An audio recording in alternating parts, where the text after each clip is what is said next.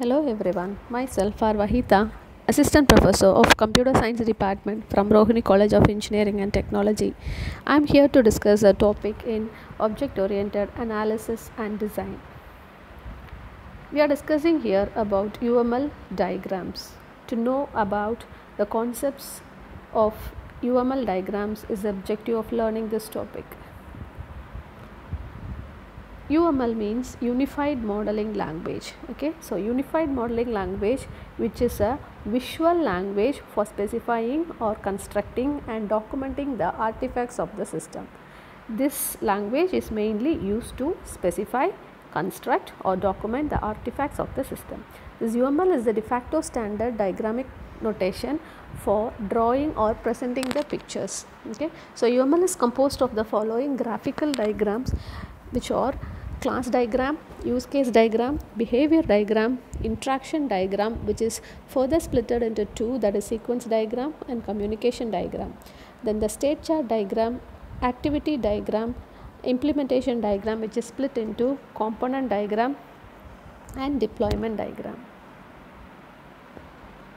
So the class diagram which describes the structure of a system by showing the system's classes their attributes and the relationship among the classes. Okay so first we are going to see about class diagram which means it is a structure of the system by which shows the classes individual classes their attributes and their relationship among the classes. So this will be displayed in the class diagram.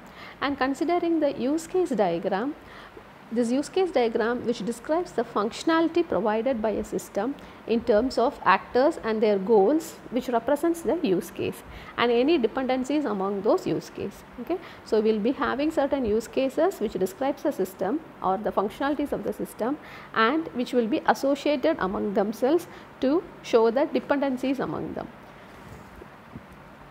Now let us see about behavior diagram which has a subdivision that is interaction diagram. Okay so interaction diagram uh, is of two types that is sequence diagram and communication diagram.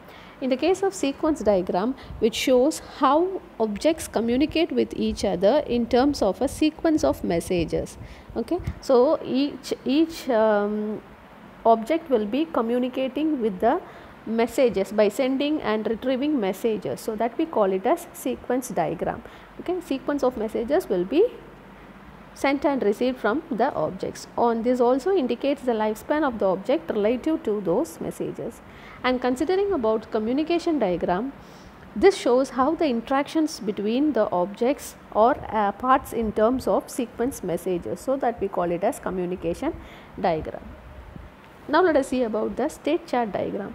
The state chart diagram contains certain states and the state transmissions of the system. Okay, so states and state transition will be describing this state chart diagram.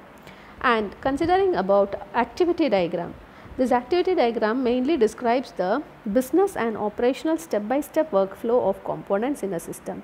An activity diagram which shows the overall flow of control. Okay, so this mainly this resembles like the flow chart which shows the overall flow of the activities. Okay, so that comes under activity diagram. Considering implementation diagram which is further divided into two that is component diagram and deployment diagram. So, this component diagram which describes how a software system is split up into components and also shows the dependency among those components. And considering about deployment diagram which describes the hardware used in the system implementation and the execution of environments and artifacts which are deployed on the hardware. So, this is of deployment diagram. There are three ways to apply the UML and UML as a sketch is the first one and UML as blueprint is the second one and UML as programming language is the third one.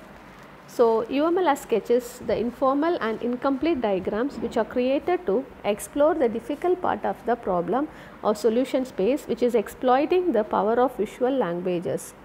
And considering about UML as blueprint which is relatively a detailed design diagrams which is used either for reverse engineering as well as the forward engineering. And UML as programming language means you are going to implement it in some programming languages that is completely executable specification of a software system in UML that is executable code will be automatically generated. and there are three perspectives to apply the UML that is